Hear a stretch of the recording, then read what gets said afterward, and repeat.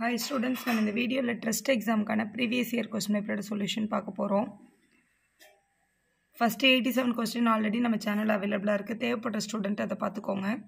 Eighty எயிட்லேருந்து இந்த வீடியோவில் பார்க்கலாம். Choose the one which is different இதில் எது டிஃப்ரெண்ட்டுன்னு கேட்டிருக்காங்க. Radio television scanner telephone radio television telephone இது எல்லாமே வந்து தொலைத்தொடர்பு சாதனங்கள். ஸ்கேனர் மட்டும் அதில் செய்கிறது ஸோ தேர்ட் தான் கரெக்ட் ஆப்ஷன் எயிட்டி நைன் பாருங்கள் eighty is equal to twenty B A D is equal to forty C A D என்ன அப்படின்னு கேட்டிருக்காங்க. ஸோ ஆல்ஃபபெட்டிக்கலுக்கு நம்பர் இருந்தது அப்படின்னா இப்போது ஏபிசிடி உங்கள் ரஃப் ஷீட்டில் எழுதிட்டு so A one B two அந்த மாதிரி நம்பர் கொடுத்துக்கலாம். அப்படி பார்த்தா டி வந்து டுவெண்ட்டி சி வந்து த்ரீ இப்போ இதில் வந்து ஏடி வந்து டுவெண்ட்டின்னு எழுதியிருக்காங்க. ஏயோட நம்பர் ஒன்று டீயோட நம்பர் வந்து டுவெண்ட்டி ஆக்சுவலாக ஒன் நைன் டுவெண்ட்டியை மல்டிபிள் பண்ணி தான் டுவெண்ட்டின்னு போட்டிருக்காங்க. அடுத்து பேட் வந்து ஃபார்ட்டின்னு எழுதியிருக்காங்க. ஸோ பியோட ஆல்ஃபபெட்டோட நம்பர் ரெண்டு ஏக்கு ஒன்று மறுபடியும் டிக்கு வந்து டுவெண்ட்டி மல்டிபிள் பண்ணால் ஃபார்ட்டி ஸோ நம்பரை போட்டு மல்டிபிள் பண்ணணுன்றது தான் ரூல் அதே மாதிரி கேட்டுக்கு என்ன வரும்னு கேட்டிருக்காங்க. சிக்கு வந்து த்ரீ எயிட்டின்றது வந்து டுவெண்ட்டி அதாவது ஒன் இன்ட்டு டுவெண்ட்டி சிக்ஸ்டின்றது தான் கரெக்ட் ஆப்ஷன் உங்களோட ஃபோர்த் ஆப்ஷனில் இருக்குது நைன்டியத் கொஸ்டின் பார்க்கலாம். Two persons starting from the same point walks in opposite direction and each one is travelling fifteen kilometre அப்படின்னு கொடுத்துருக்காங்க. ஸோ சப்போஸ் இதான் நம்ம ஸ்டார்டிங் பொசிஷன் ரெண்டு பேர் இருக்காங்க. ஸோ ஒருத்தர் இந்த பக்கம் ஃபிஃப்டீன் கிலோமீட்டரும் ஒருத்தர் இந்த டைரெக்ஷனில் ஃபிஃப்டீன் கிலோமீட்டரும் வாக் பண்ணியிருக்காங்க. ரெண்டு பேரும் சேம் ஸ்டார்டிங் பாயிண்ட்லேருந்து இந்த பக்கம் ஃபிஃப்டீன் கிலோமீட்டர் இந்த பக்கம் ஃபிஃப்டீன் கிலோமீட்டர் வாக் பண்ணதுக்கப்புறம் then one of them turn his left side and walks fifteen kilometre so இப்படி நடந்து போயிட்டுருக்க ஒருத்தரோட ரைட் ஹேண்ட் இங்கே இருக்கும் லெஃப்ட் ஹேண்ட் இந்த பக்கம் இருக்கும். இந்த பக்கம் ஃபேஸ் பண்ணி நடந்து போகிறவங்களோட லெஃப்ட் ஹேண்ட் இந்த சைடு இருக்கும் ரைட் சை ரைட் ஹேண்ட் வந்து இந்த சைடு இருக்கும். நீங்களே அதில் நடந்து போகிற மாதிரி யோசிச்சு பார்த்தா கரெக்டாக இருக்கும். ஒருத்தர் வந்து அவரோட ரைட் சைடு திரும்பி ஃபிஃப்டீன் கிலோமீட்டரும் இன்னொருத்தர் வந்து லெஃப்ட் சைடு திரும்பி ஃபிஃப்டீன் கிலோமீட்டர்னு சொல்லியிருக்காங்க.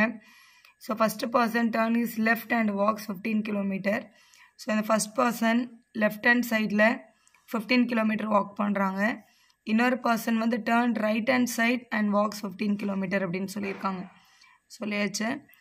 How far they are from each other now ரெண்டு பேருக்கும் நடுவில் இருந்த இந்த டிஸ்டன்ஸ் எவ்வளோன்னு கேட்டிருக்காங்க. இங்கே இருக்காங்க இப்போ ரெண்டு பேரும். இந்த டிஸ்டன்ஸ் தான் கேட்டிருக்காங்க. இந்த டிஸ்டன்ஸ்ன்றது இதுக்கு ஈக்குவலாக தான் இருக்கும். ஸோ இது தேர்ட்டின்றதுனால இதுவும் தேர்ட்டி கிலோமீட்டர்ஸ் தான். தேர்ட்டி கிலோமீட்டர் தான் உங்களோட கரெக்டான ஆன்சர் உங்களோட தேர்ட் ஆப்ஷனில் இருக்குது பாருங்கள் நெக்ஸ்ட் பக் நெக்ஸ்ட் ஒரு blood relation question pointing a girl Ravi said she is a only daughter of husband of my mother அப்படின்னு சொன்னாங்கன்னா how the girl is related to Ravi அப்படின்னு கேட்டிருக்காங்க. ஸோ ரவி ஒரு கேர்ளோட பிக்சரை பார்த்துட்டு சொல்கிறாங்க she is a only daughter of husband of my mother அப்படின்னு சொல்லியிருக்காங்க. ஹஸ்பண்ட் ஆஃப் மை மதர் அப்படின்றது வந்து ரவியோட father so mother father mother தான் ஹஸ்பண்ட் ஆஃப் த மதர்னு சொல்லியிருக்கான். ஃபாதர் மதரோட ஒன்லி டாட்டர் தான் அந்த கேர்ள் அப்படின்னா அந்த கேர்ள் கண்டிப்பாக ரவியோட தங்கச்சா தான் இருந்திருக்கணும். ஸோ சிஸ்டர் அப்படின்ற ஃபஸ்ட் ஆப்ஷன் தான் correct in this given figure rectangle represent the class compressing of fifty students the square square represent the student playing chess circle represent cricket triangle represent football. So நான் இந்த shape மட்டும் இங்கே வரைஞ்சிருக்கேன். என்ன shape என்னென்னு. மொத்த rectangle வந்து கிளாஸோட ஐம்பது ஸ்டூடெண்ட்டை குறிக்குது. ஸ்கொயர் செஸ்ஸு சர்க்கிள் வந்து கிரிக்கெட் ட்ரையாங்கிள் வந்து ஃபுட்பால் அப்படின்னு சொல்லியிருக்காங்க கொஸ்டினில். இப்போ கேள்வியை பார்க்கலாம். ஃபஸ்ட் கொஸ்டின் என்னென்னு பாருங்கள் the number of student playing both chess and the cricket அப்படின்னு சொல்லியிருக்காங்க. ஸோ செஸ்ஸும் கிரிக்கெட்டும் விளையாடுறவங்க எத்தனை பேருன்றது உங்களோட கொஸ்டின் செஸ்ஸுன்றது வந்து ஸ்கொயர் கிரிக்கெட்டுன்றது வந்து சர்க்கிள். ஸ்கொயரும் சர்க்கிளும் மிக்ஸ் பண்ணி இருக்கிற நம்பரை பார்க்கணும். ஸ்கொயரும் சர்க்கிளும் ரெண்டும் மிக்ஸ் ஆகிருக்கிற நம்பர் வந்து த்ரீ தான். த்ரீ தான் சர்க்கிள்குள்ளேயும் இருக்குது ஸ்கொயர்லேயும் இருக்குது அப்போ த்ரீ தான் கரெக்ட் ஆப்ஷன் உங்களோட ஃபோர்த் ஆப்ஷன் கரெக்டாக இருக்குது ஃபோர்த்து தான் நம்ம செலக்ட் பண்ணணும். அடுத்து பாருங்கள் the number of student who do not play any game எந்த கேமும் விளையாடாத ஸ்டூடெண்ட் எத்தனை பேர்னு கேட்டிருக்காங்க. முதல்ல கேம்ஸ் விளையாடுற ஸ்டூடெண்ட்டோட கவுண்ட்டை கண்டுபிடிச்சிட்டு டோட்டல்லேருந்து மைனஸ் பண்ணால் கண்டுபிடிச்சிடலாம். இப்போ இதில் வந்து ஃபஸ்ட்டு செவன் இருக்குது செவன் ஸ்டூடெண்ட் செஸ் மட்டும் விளையாடுறவங்க. த்ரீ ஸ்டூடெண்ட் வந்து செஸ்ஸும் விளையாடுவாங்க கிரிக்கெட்டும் விளையாடுவாங்க. அந்த மாதிரி அங்கே இருக்க எல்லா நம்பரையும் நம்ம என்ன பண்ணிக்கலாம்னா ஆட் பண்ணிக்கலாம் எல்லாருமே கேம் விளையாட தெரிஞ்சவங்க. ஸோ இது ஒரு டுவெண்ட்டி இது ஒரு so thirty five plus two பண்ணால் ஃபார்ட்டி டூ அப்போ ஃபார்ட்டி டூ ஸ்டூடெண்ட்ஸ் வந்து ஏதோ ஒரு கேம் விளையாடுறாங்க. ஒரு கேமோ ரெண்டு கேமோ விளையாடுறாங்க. மொத்தமாக அந்த கிளாஸில் எத்தனை ஸ்டூடெண்ட் இருந்ததாக சொல்லியிருக்காங்கன்னு பாருங்கள் கிளாஸில் ஐம்பது ஸ்டூடெண்ட் இருந்ததா ரெப்ரசன்ட் பண்ணியிருக்காங்க பாக்ஸில் மேலே. ஸோ ஐம்பது ஸ்டூடெண்ட்டில் நாற்பத்தி ரெண்டு பேர் கேம்ஸில் இருக்காங்க. எத்தனை பேர் எந்த கேமும் விளையாடல அப்படின்றத உங்களோட கேள்வி. ஸோ டோட்டல் ஸ்டூடெண்ட்லேருந்து கேம் விளையாடுறவங்களோட கவுண்ட்டை மைனஸ் பண்ணிட்டா எயிட் கிடைக்குது. அப்போ எயிட் ஸ்டூடெண்ட் வந்து எந்த கேமும் விளையாடல அப்படின்னு அர்த்தம். So who do not play any கேம்க்கு வந்து எயிட் தான் கரெக்ட் ஆன்சர் ஃபஸ்ட் ஆப்ஷனில் இருக்குது அடுத்து பாருங்கள் number of student who play cricket only cricket மட்டும் விளையாடுறவங்க எத்தனை பேர்னு கேட்டிருக்காங்க. கிரிக்கெட்டுக்கு நம்ம யூஸ் பண்ணியிருக்கிறது வந்து சர்க்கிள் சர்க்கிள்குள்ளே மட்டும் இருக்கிறவங்களோட கவுண்ட்டை பாருங்கள் சர்க்கிளில் மட்டும் இருக்கிற நம்பர் வந்து செவன்டீன் செவன்டீன் வந்து சர்க்கிளில் மட்டும் தான் இருக்குது அப்போ செவன்டீன் தான் உங்களோட கரெக்டான ஆப்ஷன் உங்களோட செகண்ட் ஆப்ஷனில் இருக்குது பாருங்கள் அதான் கரெக்ட் நெக்ஸ்ட்டு பாருங்கள் select the figure which complete the given series இங்கே வர வேண்டிய ஃபிகர் என்னன்னு கேட்டிருக்காங்க. ஃபஸ்ட்டு இந்த வெளியில் இருக்க இந்த அவுட்டர் டயக்ராம் uh, வந்து கிளாக் வைஸ் டைரக்ஷனில் நைன்டி டிகிரி திரும்பியிருக்கு. இப்படி திரும்பிடுச்சு. அதே மாதிரி இந்த நடுவில் இருந்த ஆரோ வந்து ஆன்டி கிளாக் வைஸில் நைன்டி டிகிரி ரொட்டேட் ஆகிருக்கு ரொட்டேட் பண்ணதுக்கப்புறம் எப்போவுமே இந்த லைன் வந்து ஆரோவோட பாட்டம் எங்கே இருக்கோ அங்கே தான் லைன் போட்டிருக்காங்க. இங்கே ஏரோவோட பாட்டம் இந்த பக்கம் இருக்கிறதுனால இதுக்கு கீழே இன்னொரு லைன் போட்டிருக்காங்க. இது கேர்வாக இருந்தால் கேர்வ் லைன் போடணும். ஸ்ட்ரெயிட்டாக இருந்தால் ஸ்ட்ரெயிட் லைன் போடணும். ஸோ அதே மாதிரி இப்போ இந்த ஃபிகர் எடுத்துக்கலாம். இந்த அவுல் வெளியில் இருக்க இந்த அவுட்டர் பாக்ஸ் வந்து கிளாக் வைஸில் நைன்டி டிகிரி திரும்பினா இப்படி திரும்பியிருக்கும் அப்போ இந்த ஸ்ட்ரெயிட் லைன் வந்து இந்த கார்னர் தான் வரும். அப்போ இது ரெண்டத்தில் ஏதோ ஒன்று தான் ஆப்ஷன் எடுத்துக்கோங்க முதல்ல.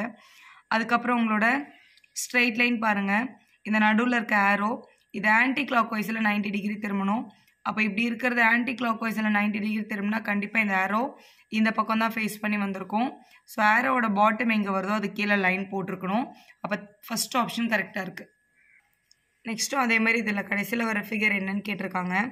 ஃபஸ்ட்டு இந்த பாயிண்ட்டை கார்னராக வச்சுட்டு மூணு டாட்டுமே அது மூணு ஆரோவுமே அதுலேருந்து வெளியில் வந்த மாதிரி காமிச்சிருக்காங்க. அடுத்து இந்த டாட்லேருந்து மூணு ஆரோவும் வெளியே வந்த மாதிரி காமிச்சிருக்காங்க. அடுத்து இந்த டாட்லேருந்து அப்போ கண்டிப்பாக அடுத்து ஃபோர்த்து டாட்லேருந்து மூணாயிரம் வெளியே போயிருக்கணும். ஃபஸ்ட்டு ஆப்ஷனே கரெக்டாக இருக்குது நெக்ஸ்ட்டு பாருங்கள் இந்த கடைசியில் வர வேண்டிய லைன்ஸ் எவ்வளோன்னு கேட்டிருக்காங்க. ஃபஸ்ட்டு பாக்ஸில் மூணு பெரிய லைனும் ரெண்டு சின்ன லைனும் இருக்குது இங்கே அடுத்த ஃபிகரில் பார்த்தீங்கன்னா இந்த அடுத்த பாக்ஸில் பார்த்தா இந்த ரெண்டு சின்ன லைனை ரிமூவ் பண்ணிவிட்டு இந்த மூணு பெரிய லைனை மட்டும் வரைஞ்சிருக்காங்க. அப்போ அதே மாதிரி இங்கே ரெண்டு பெரிய லைனும் ஒரு சின்ன லைனும் இருந்தது. அப்போ இந்த பாக்ஸுக்கு போகும்போது இந்த சின்ன லைனை ரிமூவ் பண்ணிவிட்டு ரெண்டு பெரிய லைன் மட்டும் தான் நம்ம வரையணும். ஃபோர்த் ஆப்ஷன் கரெக்டாக இருக்குது அதான் நம்ம செலக்ட் பண்ண வேண்டியது. நெக்ஸ்ட்டு பாருங்கள் இந்த மூணாவது ஃபிகர் மிஸ் ஆயிருக்கிறது என்னன்னு கேட்டிருக்காங்க. உள்ளே ஒரு ட்ரையாங்கிள் இருக்குது அதே ட்ரையாங்கிளை வந்து இன்வெர்ட்டடாக உள்ளே போட்டிருக்காங்க. அப்படியே திருப்பி உள்ளே போட்டிருக்காங்க. இல்லை அதோட வாட்டர் இமேஜ் மாதிரி எடுத்து உள்ளே போட்டிருக்காங்கன்னு கூட சொல்லலாம். இது அப்படியே டேர்ன் பண்ணி உள்ளே வந்திருக்கு. இங்கே வெளியில் ஃபோர் சைடட் ஃபிகர் உள்ளேயும் ஃபோர் சைடட் ஃபிகர் தான். இது அப்படியே திருப்பி உள்ளே போட்டிருக்காங்க. இங்கே கடைசியில் பாருங்களேன். வெளியிலையும் ஹெக்ஸகன் இருக்குது உள்ளேயும் ஹெக்ஸகன் இருக்குது வெளியே ஆறு சைட் ஃபிகர்னால் உள்ளேயும் ஆறு சைட் ஃபிகர் இது அப்படியே திருப்பி தான் உள்ளே போட்டிருக்காங்க. ஸோ இந்த எப்போவுமே இந்த கா கார்னரும் சைடும் ஃபேஸ் பண்ணுற மாதிரி உள்ளே ட்ரா பண்ணியிருக்காங்க. ஸோ நடுவில் அப்போ கண்டிப்பாக வெளியும் ஃபைவ் சைடட் ஃபிகர் வரும் உள்ளேயும் ஃபைவ் சைடட் ஃபிகர் தான் வரும்.